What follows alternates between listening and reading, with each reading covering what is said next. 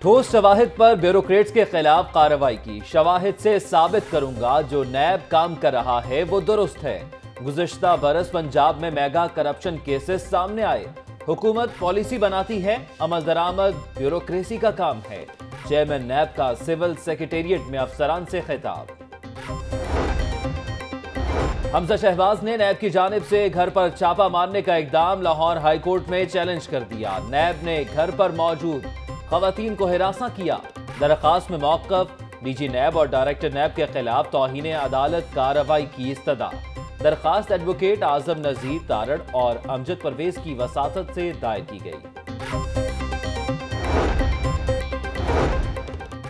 شریف family کے مبینہ front مین مشتاق NAB حراست میں ایک بار پھر بیمار۔ نیب دفتر سے ہسپتال منتقلی کے لیے احتساب عدالت میں درخواست دائر کر دی۔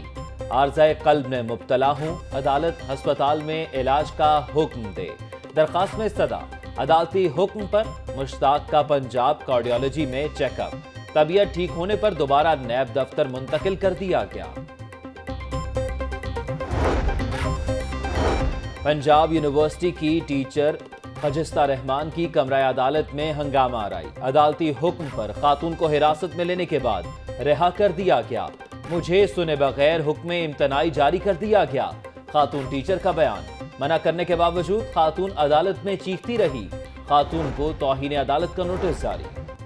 واسطہ یونین کا پریس کلب کے باہر احتجاج۔ واسطہ ملازمین کی بڑی تعداد۔ احتجاج میں شریک۔ واسطہ ملازمین اپنے مطالبات کے لیے ڈٹ گئے۔ شوکاز نوٹس واپس لینے کا مطالبہ۔ اور سرکاری ملازمین کو بھی صحت کارڈز فراہم کریں گے۔ حکومت ٹیکس کا پیسہ عوام کی بہتری پر خرچ کرے گی۔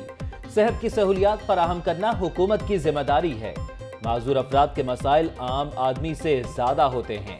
وزیر صحت ڈاکٹر یاسمین راشد کا انسٹیٹیوٹ آف پبلک ہیلتھ میں تقریب سے خطاب۔